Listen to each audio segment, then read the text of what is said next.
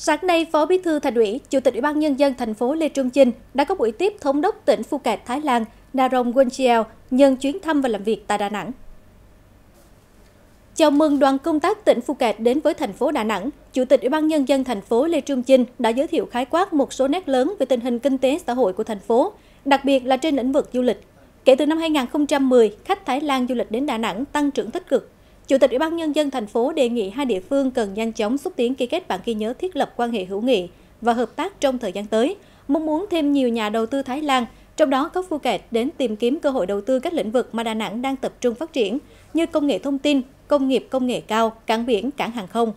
Thống đốc tỉnh Phuket Narong Wonchiel cảm ơn sự đón tiếp trọng thị của lãnh đạo thành phố và bày tỏ ấn tượng trước sự phát triển vượt bậc của Đà Nẵng, đặc biệt là sản phẩm du lịch của thành phố phong phú đặc sắc, Thống đốc cũng nhất trí cao với đề nghị của Chủ tịch Ủy ban Nhân dân thành phố về việc xúc tiến ký kết bản ghi nhớ thiết lập quan hệ hữu nghị và hợp tác giữa hai địa phương.